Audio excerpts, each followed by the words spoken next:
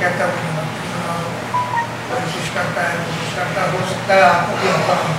कई बार आज से नहीं पिछले करीब पचपन साल से मुझे ऑफ़र आते हैं। तो ये चिंता जो है हमारे जाती है।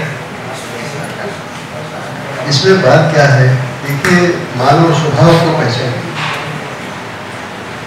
इसको जब इस तरह के ऑफर्स आते हैं उनको रेजिस्ट करना बहुत मुश्किल होता है बहुत मुश्किल आप प्रभावशाली आदमी हैं, अखबार हमारी संपादक हैं आपको राज्यसभा में। एकदम फिसलने का मन करता है किसका मन नहीं करता है लेकिन कई लोग हैं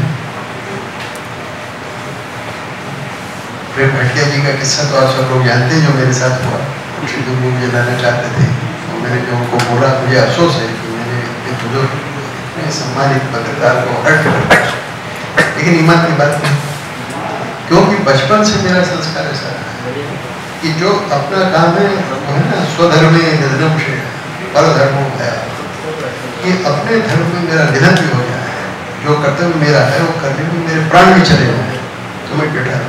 पर धर्मो भया पर धर्म का है, कुछ ही आपको बना है हमको नहीं चाहिए। तो मोक्ष देना तो मोक्ष भी परमात्मा अपने पास रखा है। उन्होंने जिस काम के लिए मुझे संसार में भेजा है, मैं तो वो काम पूरा करूँगा मुझे मोक्ष भी नहीं चाहिए। मुझे प्रधानमंत्री पद नहीं जब अटल जी मेरे घर आते थे मैं इंदौर में रहता था, सारे मेरे पिताजी काफ़ी उदार थे, सारे नेताओं के लिए काफ़ी सुविधा वगैरह सब। तो अटल जी मुझसे कहते थे, उनका मेरा भाषण साथ होता था। तो कहते वैदिक जी, आपके माथे पर लिखा है, भारत के आपको प्रधानमंत्री बनना है। मैंने कहा, अटल जी चपरासी भी नहीं बनने वाला।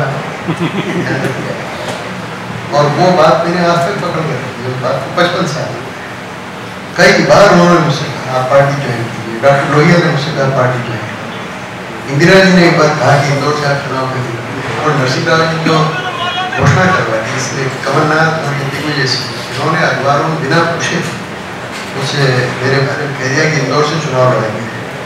और सुमित्रा महाजन को वोट हटाए सुमित्रा महाजन बहन नहीं करे वो कर ऐसा क्या सवाल। जब कॉलेज में था, मैंने कभी चुनाव नहीं लड़ा, है? एक छत्र नेता था इंदौर में मेरे साथ दस दस हज़ार लड़के जाते हर साल गिरफ़्तार होता था। और विजय टी मिश्रा ने तीन साल के लिए बंद कर दिया। डिफेंस ऑफ़ इंडिया उन्नीस सौ पैंसठ। सारे लोगों ने माफ़ी मांगी मेरे साथ। और मैं नाम नहीं बोलूँगा वो मध्य प्रदेश और सेंटर कैबिनेट मिनिस्टर मेरे अनुयायी। मैंने माफ़ी मैंने कहा मिश्रा जी अभी तो एक महीने जेल रहा।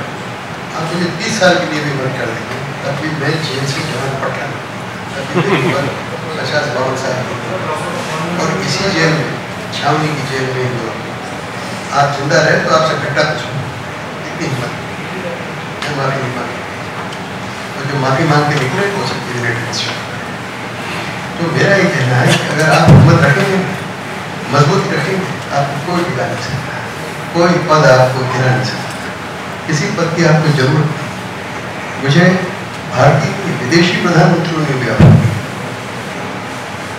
कहे कि आप आ जाइए हमारे सलाहकार फॉरेन पॉलिसी एडवाइजर की तरह आ जाइए मैं क्यों ऐसे आपको सलाह दूँगा। मैं पक्का भारतीय इंडियन नेशनल इंटरेस्ट के खिलाफ में कुछ नहीं लेकिन आपका इंटरेस्ट भी सर्व हो, हमारा इंटरेस्ट भी सर्व हो, इंडिया का सलाह देने के लिए तैयार। मुझे कोई पद और नहीं तो भाई, पत्रकारों को तो ये मानना चाहिए कि जिस पद पे भगवान ने आपको भेजा है, वो परम पद है। उससे बड़ा कोई पद नहीं। या तो आइए मत है अगर आ गए तो फिर उसकी मर्यादा, सबसे ऊँची मर्यादा पत्रकार लोकतंत्र